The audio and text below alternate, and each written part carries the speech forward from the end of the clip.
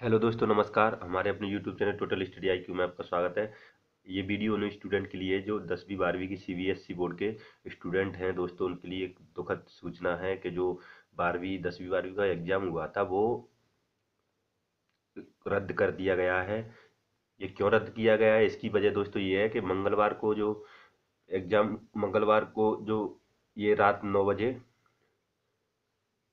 सवा नौ बजे वायरल हुआ था व्हाट्सअप एफ़ पर, ठीक है, पटना में, ठीक है। और बुधवार को ये, यही पेपर था, पूरा यही पेपर आया, लेकिन उसमें अंतर ये था, उसमें मतलब लिखित रूप में था पेपर ठीक है। मतलब किसी ने लिखा था पूरा पेपर मतलब फ़ोटो कॉपी भी नहीं की थी, ऐसा था, ऐसा लग रहा था मुझे, ठीक है। इसमें भी दिया है, आप फ़ोटो देखोगे तो दैनिक भास्कर में। अभी दिल्ली, पटना सहित कई शहरों में छाप मतलब सात छापे भी मारे गए हैं और काफ़ी एफआईआर भी दर्ज की गई है, ठीक है, यहीं पे हुआ था ये सब। अभी अभी एग्ज़ाम से अभी जो प्रोसेस क्या है कि पेपर मतलब कैसे क्या अभी देखिए अभी क्या होता है पेपर से एक, एक हफ़्ते एग्ज़ाम से एक हफ़्ते पहले जो डिस्ट्रिक्ट स्टोरेज सेंटर रहता है ना वहाँ पे ये एग्ज़ाम पेपर आ जाता है। फिर वहाँ से एग्ज़ाम के दिन जो सीबीएसई के एग्ज़ाम नॉमिनी रहते हैं ना वो इन पेपर को स्कूल में ले जाते हैं ठीक है?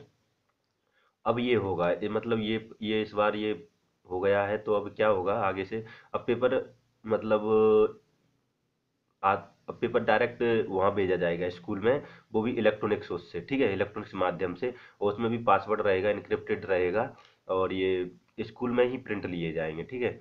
अब अब दोस्त कुछ स्टूडेंट ये सोच रहे होंगे कि अब क्या होगा एग्ज़ाम कब? तो इसकी प्रकाश जावड़ेकर जी ने बोला है कि एग्ज़ाम की नई डेट एक हफ़्ते में जारी की जाएगी, जो अपने केंद्रीय मंत्री है ना प्रकाश जावड़ेकर जी, उन्होंने एक हफ़्ते में इसकी डेट का अनाउंस किया जाएगा कब होगा एग्ज़ाम तो जो स्टूडेंट बारहवीं दसवीं के हैं सीबीएसई वाले वो इस न्यूज़ को अच्छे से देखें। और आप थोड़ा बहुत पढ़ लें यदि आपका कुछ ही सब्जेक्ट में थोड़ा कम कमज़ोरी हो तो कम हो। तो ठीक है दोस्तों आ, ये मैंने आपको दसवीं बारहवीं के स्टूडेंट के लिए जो सीबीएसई ने नोटिफिकेशन जारी किया है उनका एग्ज़ाम रद्द कर दिया गया जिसका लाखों स्टूडेंट पर प्रभाव पड़ेगा। आप ठीक है दोस्तों, हमारा वीडियो देखने के लिए बहुत बहुत धन्यवाद। यदि वीडियो आपको अच्छा लगा तो प्लीज़ हमारे चैनल को सब्सक्राइब करें, लाइक करें। हमारा वीडियो देखने के लिए बहुत बहुत धन्यवाद।